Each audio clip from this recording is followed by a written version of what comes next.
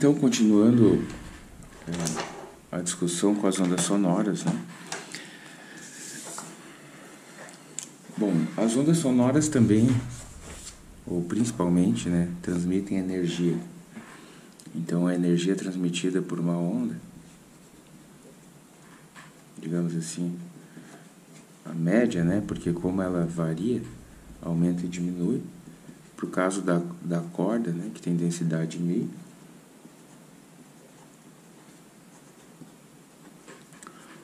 em cada intervalo de tempo. Né? Então, por exemplo, se a gente colocasse num certo período, um número inteiro de períodos, né? a potência média, né? que então é energia por intervalo de tempo, vai ser simplesmente. Então é interessante notar algumas coisas, né? Quanto maior a frequência, maior a energia transmitida. E quanto maior a amplitude também. Então, as ondas de maior frequência, com uma mesma amplitude, né, transmitem mais energia. Né? Justamente porque precisa mais energia para fazer com que, com que uma maior variabilidade aconteça no mesmo intervalo de tempo. Né? Existe uma, um conceito importante também sobre as ondas que é a intensidade e no caso de ondas mecânicas, o que a gente está falando de ondas mecânicas, na verdade, ou, ou a gente está mais acostumado a pensar em ondas sonoras, né?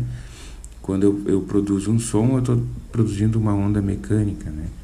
Então essas ondas mecânicas elas são chamadas de maneira é, geral como ondas sonoras, né? Qualquer perturbação que vai se propagando por um, um, um meio material é chamada de de onda sonora. Então, por exemplo, a intensidade sonora, o que a gente entende ou, o que a gente percebe como intensidade sonora é a potência da onda espalhada numa certa área. Por exemplo, a intensidade sonora de um so... imagina que tem uma fonte sonora. Na medida que essa energia vai se espalhando, ela vai cada vez cobrindo uma área maior, né? Imagina que isso está se espalhando esfericamente, né?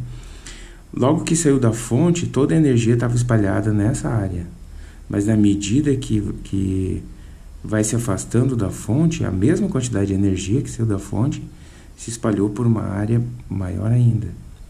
Então, na prática, se eu colocasse um sensor aqui, por exemplo, meu ouvido, aqui ou aqui, eu ia notar uma intensidade sonora diferente, simplesmente porque a mesma quantidade de energia agora está diluída por uma região muito maior.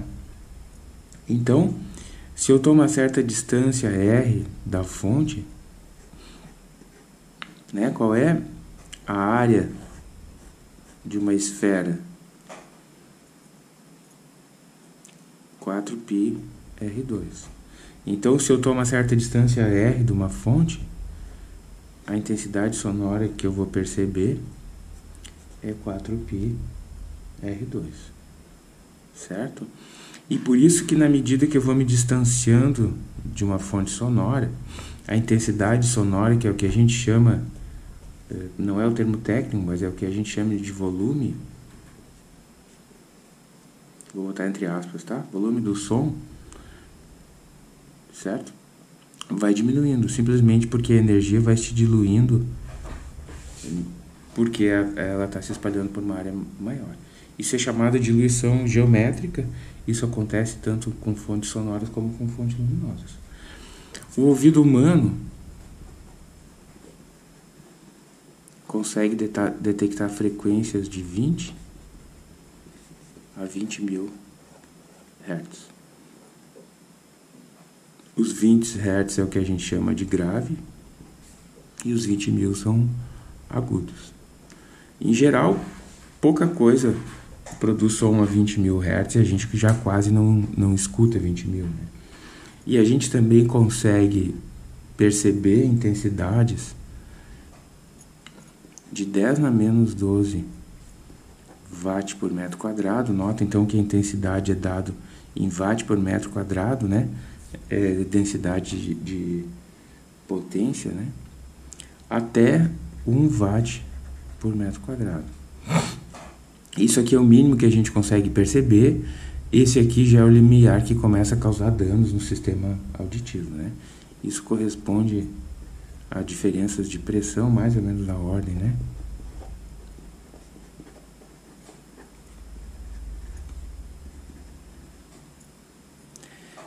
Então, por causa disso, se criou um, uma escala né, de intensidade sonora.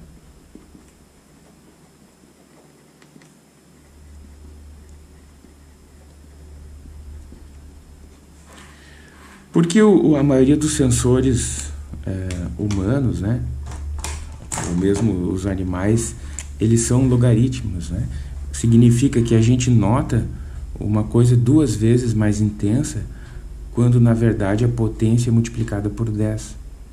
Então, se eu tenho um certo nível sonoro, eu multiplico a potência por 10, eu vou per perceber no meu ouvido que dobrou a intensidade. Se eu multiplico por 10 de novo, eu vou imaginar que quadriplicou e assim por diante.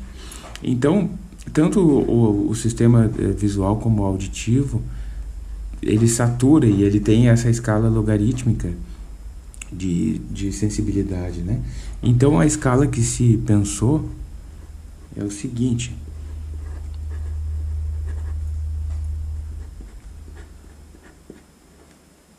Ela é escrita dessa forma.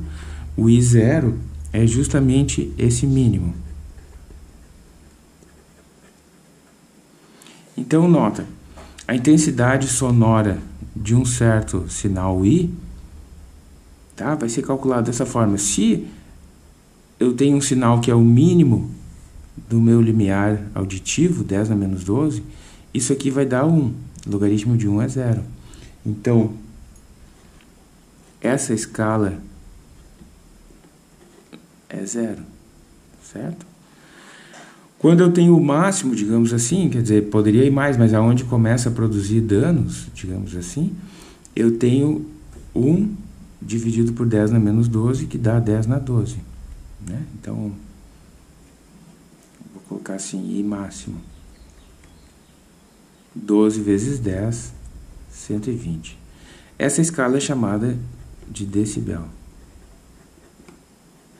Então, a nossa escala auditiva vai mais ou menos de 0 dB, a gente escreve assim, até 120 dB.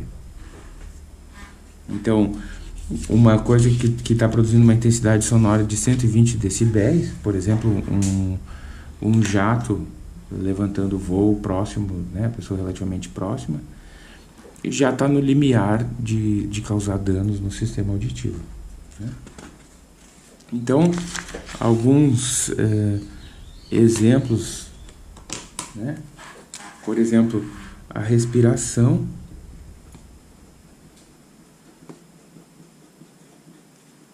Está em torno de 10 decibéis, né? Uma fala muito suave, um murmúrio, 30 decibéis uma biblioteca, supondo que seja uma biblioteca silenciosa, 40 decibéis. O trânsito, uma região de, de trânsito intenso, 70 decibéis. Um caminhão passando próximo, né? 90. E um jato, um avião decolando, um avião a jato, pode ser até 150. Então aqui já começa o limiar de dano, mas isso é, depende do, da intensidade sonora e do tempo de exposição do, do ouvido humano a essa fonte. Quer dizer, eu ficar o dia inteiro numa região de trânsito intenso pode ser equivalente ao eu passar alguns segundos próximo de um avião. Né? Então, pode haver dano em qualquer uma das situações né, em que eu em que eu tô sujeito a essa a esses efeitos. Bom, uma outra propriedade das ondas é a superposição, né? O princípio de superposição, né? que as ondas superpostas elas se somam algebricamente, né? Então, ondas superpostas se somam algebricamente. O que, que significa isso? Que é uma soma simples, né? Do efeito de cada uma em cada posição do espaço e do instante de tempo. Eu tenho uma onda assim vindo para cá, elas se encontram, se somam, eventualmente. Estou fazendo de maneira bem ilustrativa, né? E a seguir, cada uma segue o seu caminho com as suas propriedades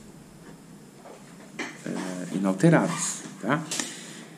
Isso acontece para uma grande parte de ondas, né?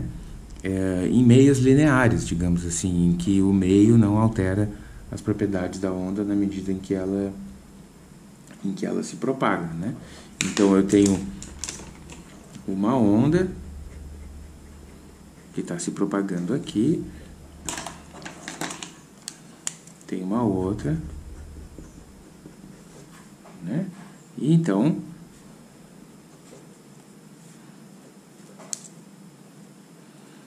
aqui, bom, em todos os instantes eu tenho as duas somadas, né? Se eu, esse meio aqui vai ser simplesmente um y de xt, que então vai ser a soma de cada uma delas.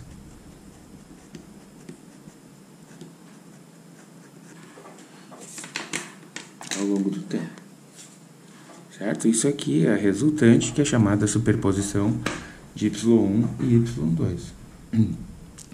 Bom, vamos fazer isso algebricamente.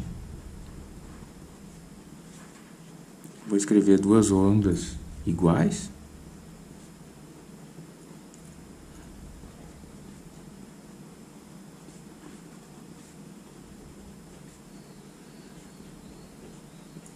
A única diferença entre elas é uma certa fase, quer dizer, vou pensar num certo instante, uma está começando assim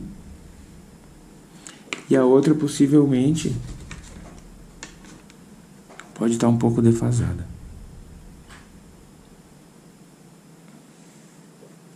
Quem controla essa diferença é a fase.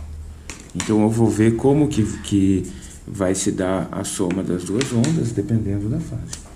Então, a minha resultante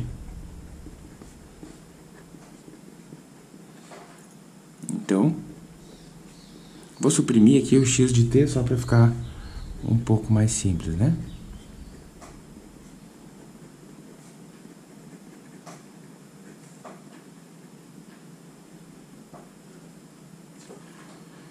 Bom, a gente conhece uma propriedade que diz o seguinte: seno de alfa mais seno de beta é igual 2 seno de 1 meio alfa mais beta vezes cosseno de 1 meio alfa menos beta. Então a gente poderia escrever essa soma aqui dessa forma. Então a minha y de r 2A seno de 1 meio 2 kx menos ômega t vezes cosseno alfa menos beta dá simplesmente o delta, alfa mais beta, né? Então aqui eu estou pensando que isso é o alfa, Isso é o beta. Então, alfa mais beta dá duas vezes kx menos ômega t e ainda sobra o delta. E alfa menos beta dá simplesmente o delta certo? Então, a minha onda resultante, vou reescrever dessa forma.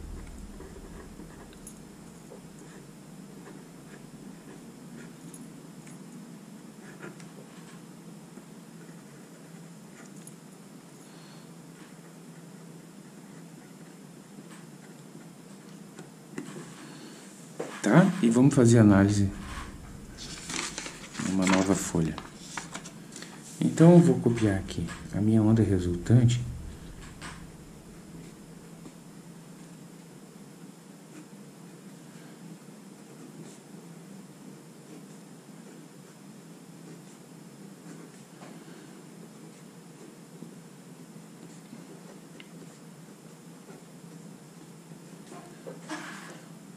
E ela veio da soma de duas ondas parecidas, mesma frequência, mesmo número de onda, mas uh, separadas por uma certa fase. O que, que significa isso? Certo? Olha, a nova onda também vai ter a mesma frequência, o mesmo número de onda. Tá? O que, que muda da nova onda? A amplitude. Olha, a amplitude da nova onda vai depender de qual era a fase inicial entre elas. Vamos fazer algum, alguns exemplos para ficar claro. Por exemplo, o caso em que delta é igual a zero. Então, a minha y1 é igual a seno de kx menos ômega t, a minha y2 é igual a seno de kx menos ômega t. Elas são idênticas e estão em fase, como a gente diz. Isso aqui significa em fase. Tá? Os máximos e os mínimos acontecem juntos. Então a resultante vai ser o que? Cosseno de zero é 1. Então vai ser 2a seno de kx menos ômega t. O, qual é o resultado da soma? É simplesmente uma onda idêntica às originais com o dobro, dobro de amplitude. Então, eu tenho a 1, eu tenho a 2, a 1, a 2 e a minha resultante tem a mesma frequência, olha. O máximo e o mínimo acontece no mesmo ponto, só que ela tem o dobro de amplitude. Aqui o desenho não A1, A2 e a resultante. É uma onda idêntica com o dobro, aqui é A, aqui é 2A, o dobro da amplitude. Certo? Isso é chamado interferência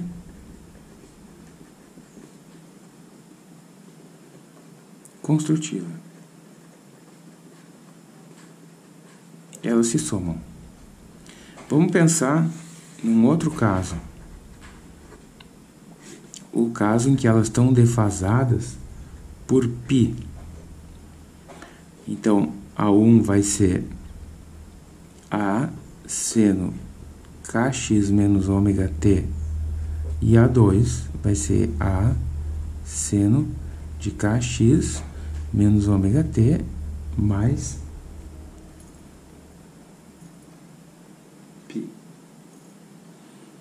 Bom, o que, que vai ser a resultante?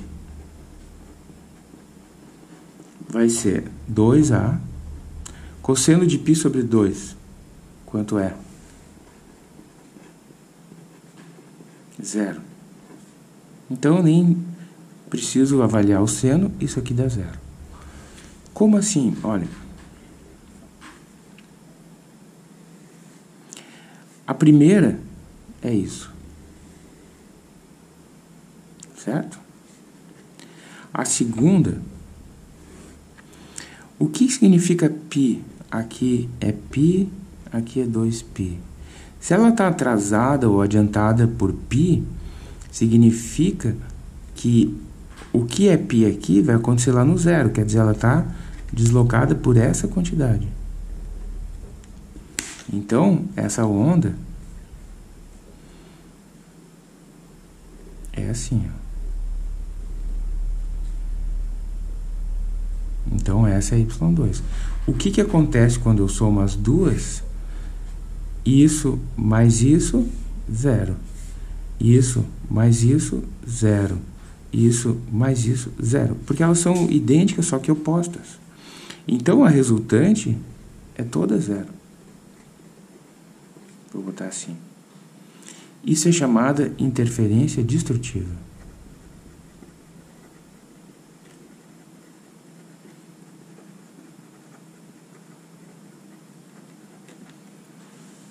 Certo? Então, a gente diz que esse caso aqui é oposição de fase.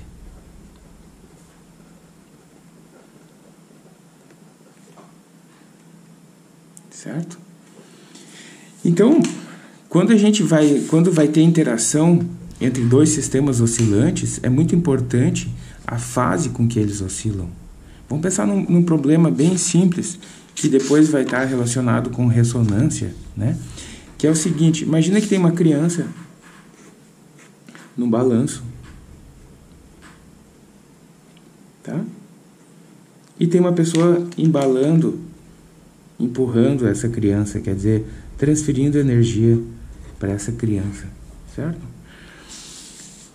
A gente, a gente pode empurrar a criança em qualquer momento? Não. A gente tem que esperar o momento certo em que a criança voltou e está começando a ir para frente para então a gente colocar energia. Se a gente ficar empurrando a criança aleatoriamente, o balanço eventualmente vai parar. Porque às vezes o meu esforço vai acelerar a criança, mas às vezes o meu esforço vai frear a criança. Então, é, o que eu estou falando aqui é que eu tenho que, que entrar em ressonância com a criança, que é justamente transferir energia para o balanço em fase com o movimento do balanço. Isso aqui poderia ser o movimento dos meus braços, isso aqui é o movimento do balanço. Então, quando o, o balanço está no máximo, eu empurro ele, eu empurro ele. Sempre junto com o balanço. A gente aprende isso intuitivamente, né? E aqui a gente entende por quê. Se eu tentar empurrar o balanço em, em oposição de fase, quando o balanço está vindo, eu, eu quero empurrar, eu vou acabar freando ele. Então essas ideias são muito importantes. Imagina que tu quer transferir energia para um sistema que está oscilando, um motor. Tu tem que ir transferindo energia quando o motor está no ponto certo de absorver essa energia. Senão tu vai acabar destruindo a, a o tanto de energia que ele tem. Bom, a gente ainda tem o caso, certo? Em que o delta é maior que zero e é menor que π. Nesse caso, a gente vai ter a resultante, né?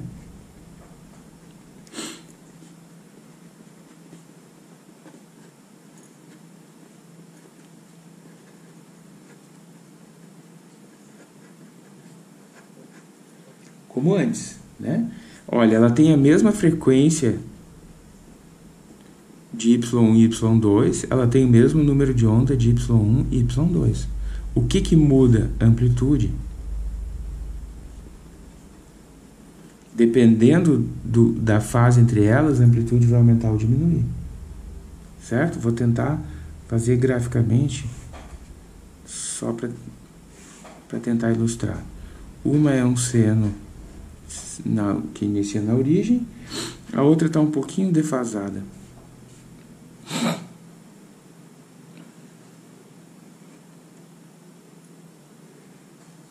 Tá? Então a resultante, vou tentar desenhar a resultante graficamente. Isso com isso vai dar menos. Isso com isso, digamos que aqui é A, aqui é A, aqui é menos A. Então, somando nesse ponto, vai dar mais A. Somando nesse ponto, também vai dar mais A. Né? Porque aqui está zero, aqui está A, também vai dar mais A. Somando aqui, tem um pouquinho mais de meio A em cada um, então vai dar um pouquinho mais de A, mas vai dar menos de 2A.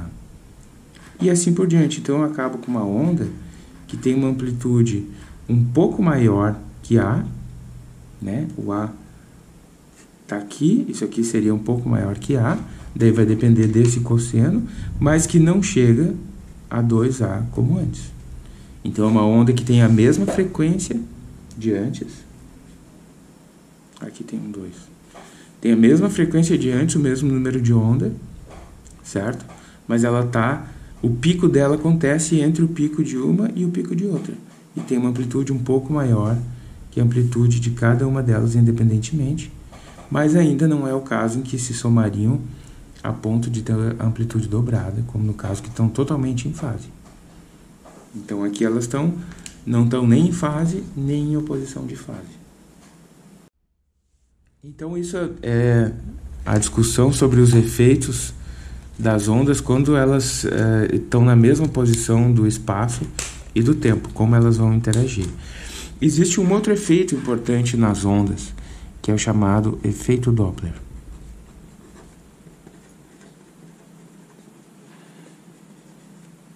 Que ele se dá pelo seguinte. Vou fazer colorido que talvez ajude a entender. Eu tenho um, um objeto, vamos pensar na fonte, se move. A fonte da onda, tá? A gente poderia ter as duas situações, a fonte se movendo, o observador se movendo.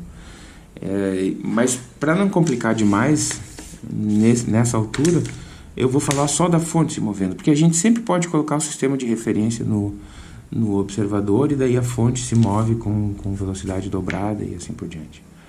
Bom, quando a fonte estava aqui, ela emitiu uma onda e essa onda foi se propagando, né? Em todas as direções com a velocidade da onda no meio. Mas a fonte está se movendo, então ela veio para cá, emitiu outra onda. Aqui era T1 aqui era T2. Então essas imagens não estão acontecendo no mesmo tempo, depois eu vou explicar melhor. Depois ela foi para 3, emitiu outra onda. E finalmente 4. Se eu tiro uma, uma foto, digamos que eu pudesse tirar uma foto em T5, eu veria assim.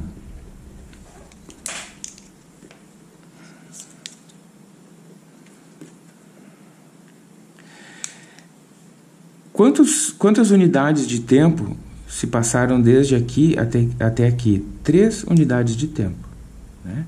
Então, imagina que, que a onda está andando essa distância em cada unidade de tempo. Então, aqui ela já teria andado 1, 2, 3, 4, 5. Vou tirar no tempo posterior, tá? Vou tirar essa foto em T5. Então, já teria andado 5 unidades. Então, ela anda mais ou menos a distância de uma outra em, em cada instante. Então, essa onda que foi emitida 5 segundos, 5 unidades de tempo atrás, já teria andado 5 e ela estaria aqui. Tá? Suponho que isso é um círculo, meu desenho não é muito bom. A onda que foi emitida aqui no ponto laranja, não andou todas essas unidades, andou só quatro. E ela está centrada aqui.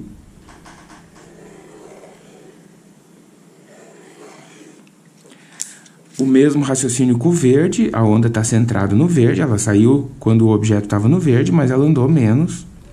Então, ela está aqui e o azul está recém começando a se propagar.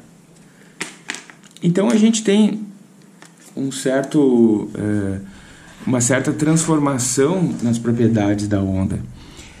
Se eu tenho um observador aqui, tá? E essas ondas estão chegando nele, ele vai medir esse comprimento de onda. Vou chamar de lambda 2 linhas. Por outro lado, se eu tenho outro observador aqui, ele vai medir esse comprimento de onda. Digamos que isso fosse um lago, certo? Ele vai olhar para cá e vai dizer, olha, as ondas têm esse comprimento. Esse vai olhar para cá e vai dizer, olha, as ondas têm esse comprimento. E, na verdade, os dois estão certos, porque o movimento da fonte está alterando o comprimento da onda na direção, nas duas direções, né? Na direção para onde a fonte está indo e na direção da onde a, a, a fonte está tá saindo, digamos assim, né? nas duas direções paralelas ao movimento da fonte. A fonte está andando aqui. A, a, o comprimento de onda é alterado. Bom, então, como que a gente estima essa alteração? da seguinte forma, olha, a velocidade da onda é T0, é, é V que é lambda sobre o, período original. Eu vou chamar a velocidade da, da fonte de U, para não confundir com o V da velocidade da onda. Então, originalmente, quando é estacionário, a gente tem assim.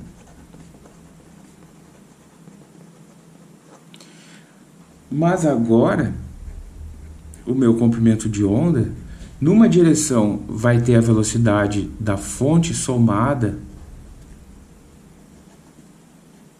à velocidade da onda, e na outra direção vai ter a velocidade da, da fonte subtraída da velocidade da onda. Então eu vou ter dois comprimentos de onda, né? Que vão resultar daqui. A fonte, quando a fonte está se aproximando,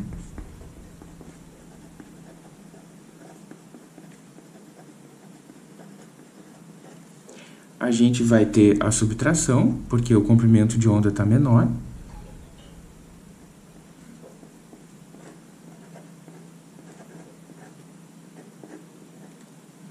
E a fonte se afastando.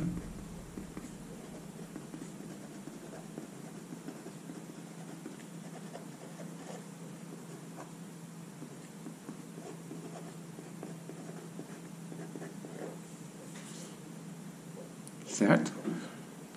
E os dois vão ser é, coerentes com o que a gente está observando. Nenhum dos dois é correto nem equivocado. E ainda a pessoa que está lá na fonte, né? então vou fazer um, um exemplo que talvez deixe mais claro.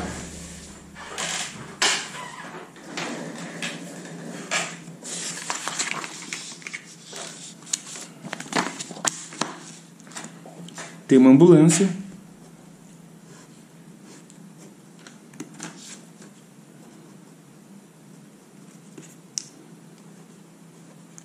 se movendo para cá com velocidade U, tá?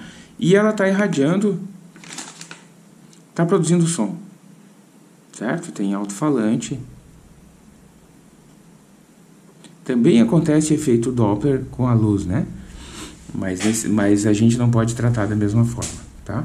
Então vamos pensar no som. A ambulância está fazendo som, está emitindo um certo som que tem um, um certo período, uma certa frequência, né? E um certo comprimento de onda estacionário, digamos assim, quando ela está parada. Bom, ela começa a andar, tem duas pessoas, uma aqui, outra aqui.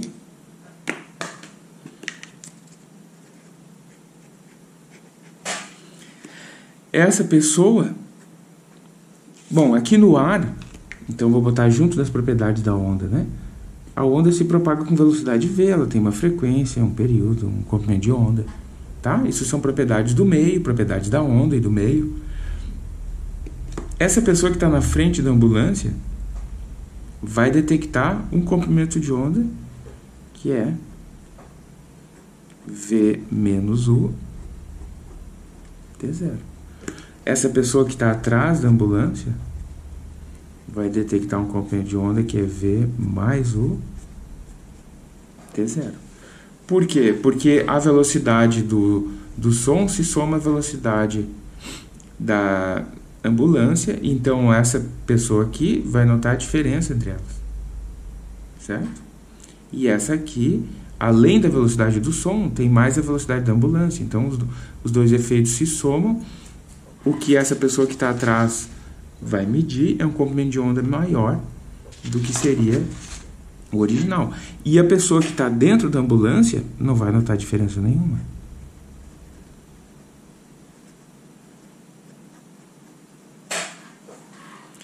Esse é o efeito que a gente eh, nota justamente nas ambulâncias, né, ou no trem também, onde passa trem, que quando ele está se aproximando ele parece um pouco mais agudo e assim que ele, que ele passa pela gente o som muda um pouco e quando ele se afasta muda de novo. Porque na verdade a gente está nessa situação quando ela está se aproximando, depois a gente está nessa situação e depois a gente passa para essa situação. Então o som vem agudo, fica normal, fica mais grave, que é esse efeito de modulação de frequência que a gente ouve por estar tá parado e a fonte está se movendo. Certo? Então, como a gente pode escrever é, dessa forma a frequência em termos do comprimento de onda e da velocidade da onda, eu também posso escrever a alteração na frequência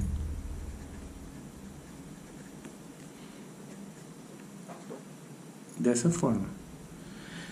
Se o comprimento de onda aqui, então nota que o comprimento de onda é proporcional ao inverso da frequência. Se o comprimento de onda diminuiu, certo? A frequência vai aumentar. Então, para ela aumentar, eu preciso que o denominador diminua.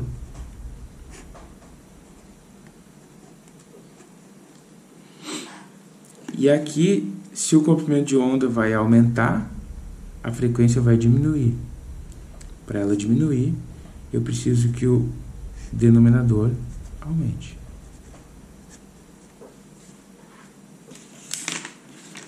Tá? Essa é uma das maneiras usadas, por exemplo, para se medir velocidade de, de veículos na estrada, né? O que que o que que o radar móvel, aquele que que o fiscal segura na mão faz? Ele emite uma frequência. F0, certo? Como os carros são metálicos, isso é uma frequência eletromagnética, né? Não é uma frequência de som, mas o princípio se aplica. Como os carros são, são, são metálicos, ele vai refletir essa onda. Só que ele está em movimento. Então ele vai refletir essa onda modificada. Modificada como? Dessa forma. O aparelho detecta essa onda modificada. Como ele sabe qual foi a onda que ele emitiu, sabe a velocidade da onda no meio, ele consegue determinar a velocidade do veículo. Certo? Então, por isso que ele aponta para o veículo, né, para lançar essa onda, a onda voltar modificada, ele estimar a velocidade do veículo a partir disso. Então, o princípio do, do, do efeito Doppler é muito importante nas fontes que se movem, né? É, isso também isso acontece com todas as ondas.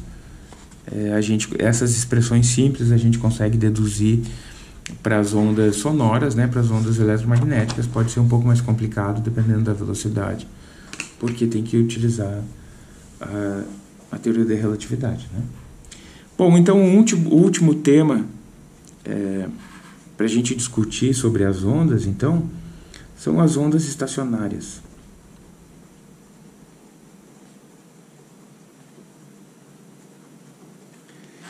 Que é o seguinte, vamos, vamos pensar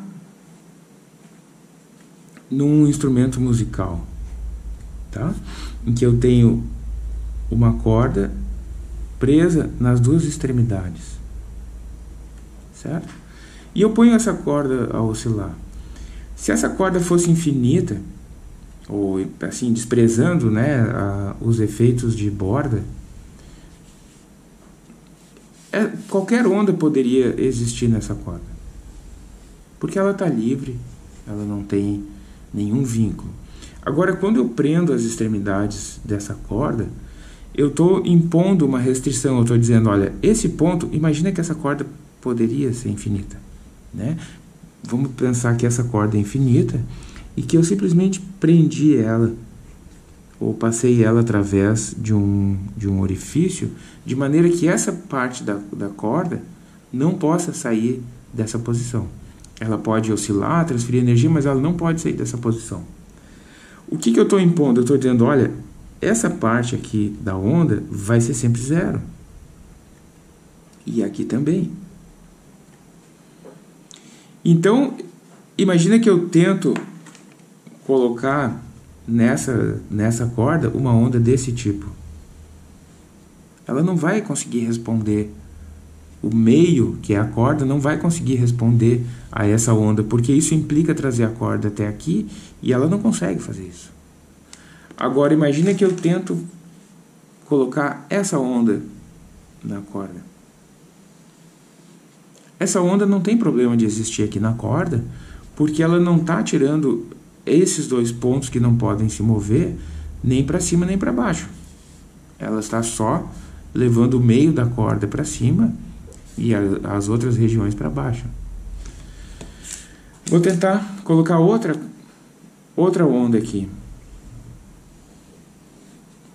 Também não vai poder a corda não vai poder responder a essa onda azul e essa onda azul não vai coexistir na corda porque ela está tentando trazer a corda para essa região e a corda não pode fazer isso. Porque ela está restringida né, por esses dois pontos aqui. Né? Da mesma forma, vou colocar essa onda. Essa onda não tem problema de existir na corda, porque, de novo, esses dois pontos não saem do lugar.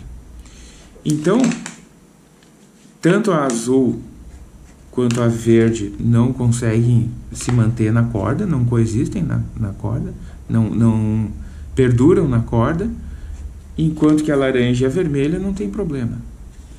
Então, as ondas que vão aparecer aqui numa corda presa são ondas desse tipo.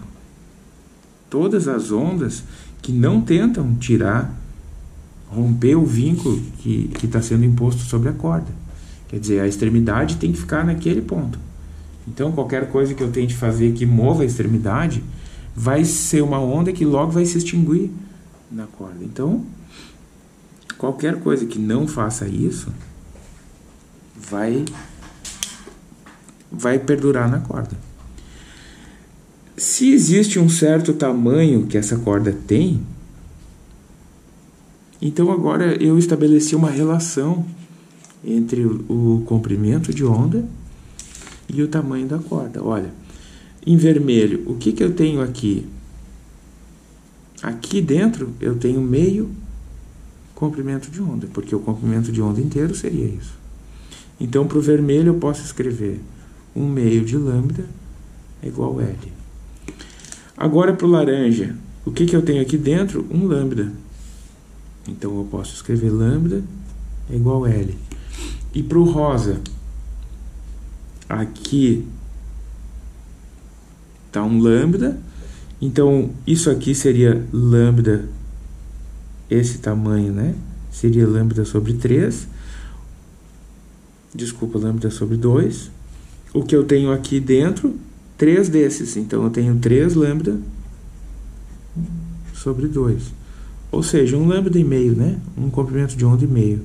Aqui formaria o segundo inteiro, igual L. Olha, vou fazer assim, ó, vou multiplicar e dividir por 2 aqui no laranja, porque daí a gente nota que tem um padrão.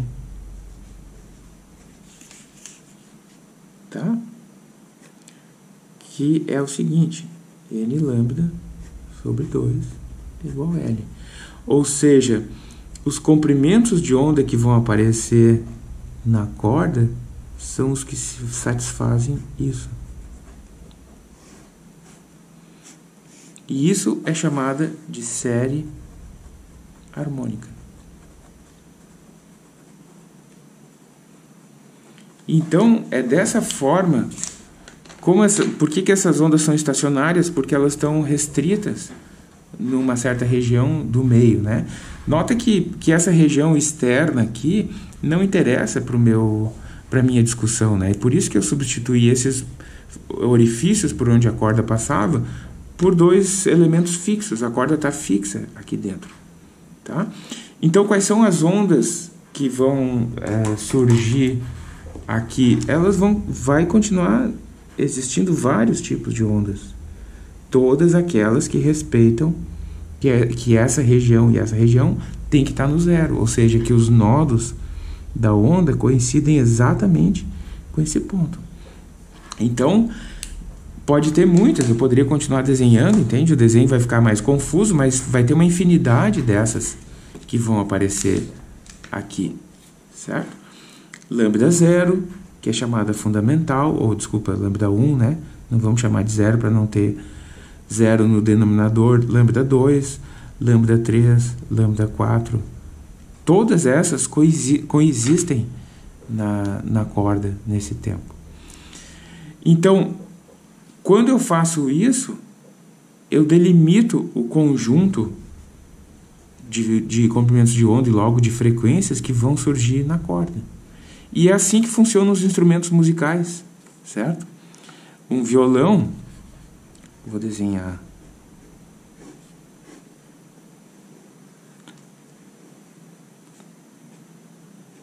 Tá? Bom, o violão, em primeiro lugar, é isso.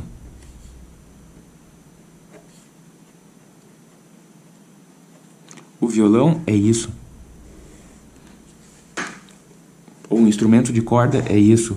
Uma corda que oscila entre dois suportes fixos. Bom, como eu quero produzir uma infinidade de, de lambdas, eu não posso. O que, que é mais fácil de variar? O comprimento. Então, eu boto pequenos suportes aqui. Não está encostando na corda por enquanto, tá? Eu boto pequenos suportes aqui e eu pego o meu dedo e aperto a corda. Então, quando eu aperto a corda aqui, ela passa a funcionar entre esse suporte e esse. Então, agora eu tenho outro comprimento.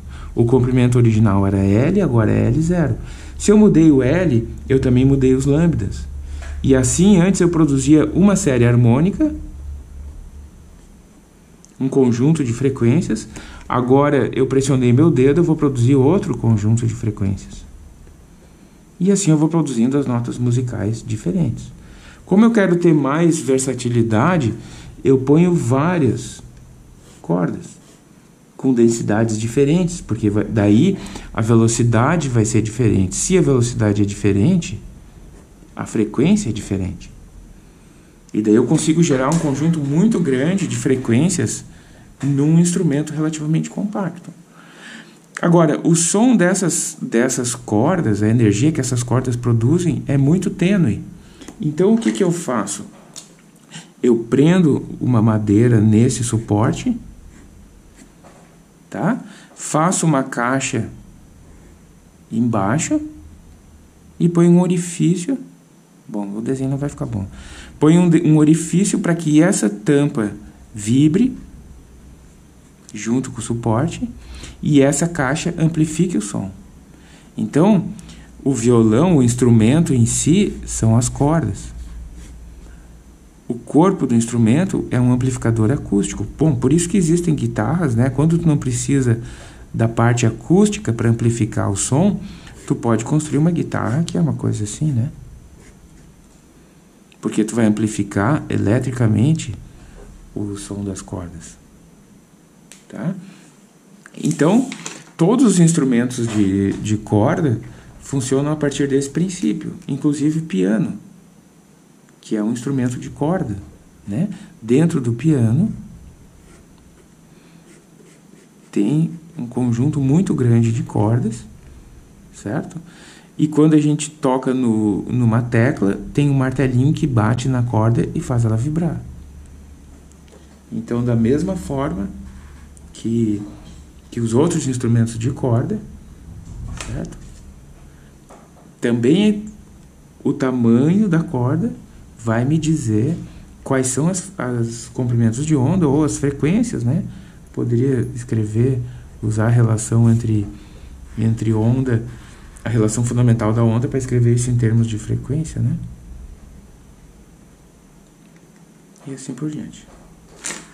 Certo? Bom, a mesma coisa acontece nos instrumentos de sopro, né? Imagina que, que ao invés de ter as duas extremidades fixas, eu tivesse uma extremidade solta, né? Essa parte aqui pudesse subir e descer. Então é, é mais ou menos o que acontece quando eu tenho um instrumento de sopro. Todo mundo já brincou de pegar uma garrafa, né? E assoprar aqui de lado para que a garrafa produza som. O que, que eu estou fazendo? Eu estou fazendo o ar que está aqui dentro vibrar dentro da garrafa. Se eu ponho um pouco de água na garrafa, o som dela muda, porque a coluna de ar que eu vou ter disponível mudou também. O que, que é um instrumento de sopro? É uma coluna de ar, como essa da garrafa, certo? Só que eu faço um orifício aqui que facilita o processo de fazer o ar vibrar aqui dentro. O que é importante é que agora um, uma das extremidades está fixa, porque aqui fora tem a pressão da atmosfera, né? Então, as ondas que eu vou ter aqui se formam desse jeito. Estou representando da mesma maneira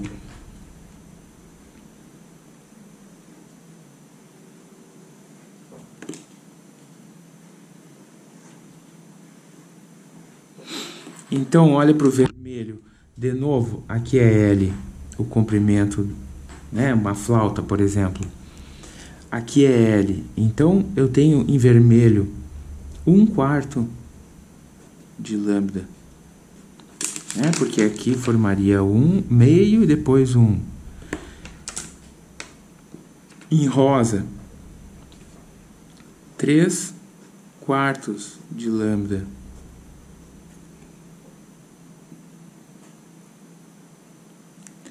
Depois, em verde, meio, meio, meio, meio, meio, cinco quartos de lambda. Então, a minha série harmônica aqui é a seguinte, né?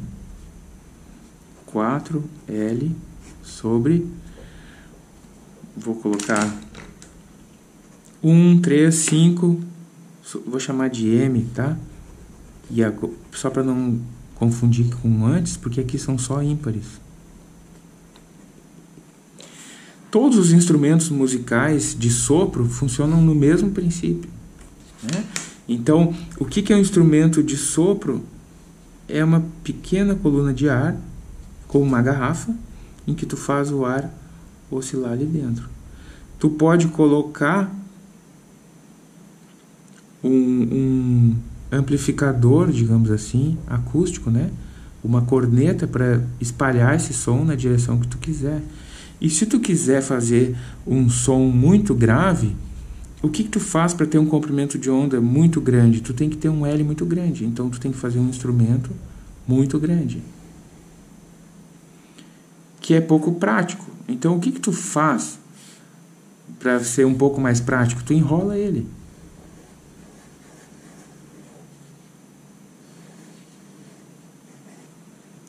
E por isso que os instrumentos de sopro, muitos deles têm essa aparência, né, de ter um tubo enrolado, porque para te conseguir o comprimento de onda que tu necessita, um som grave, tu precisaria um L muito grande. Então, efetivamente, é mais fácil para ele ficar compacto, tu enrolar esse instrumento. Certo?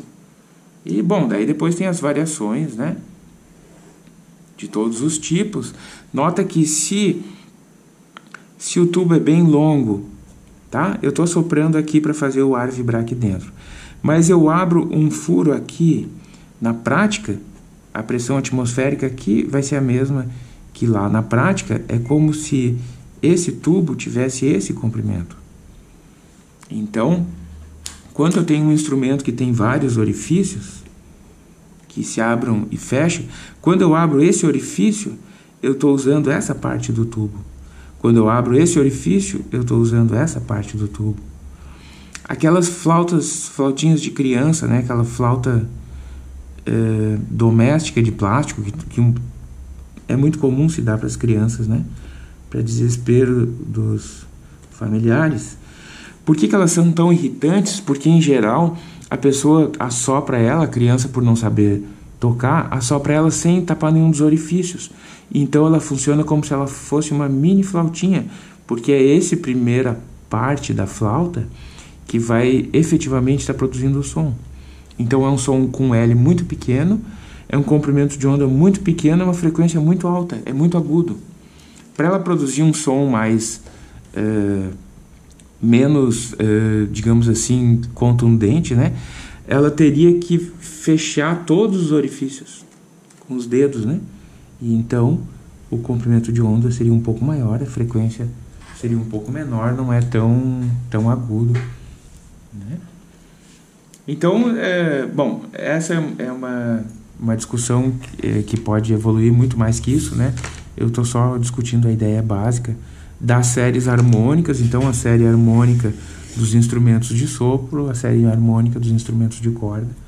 É assim que os instrumentos musicais funcionam, certo?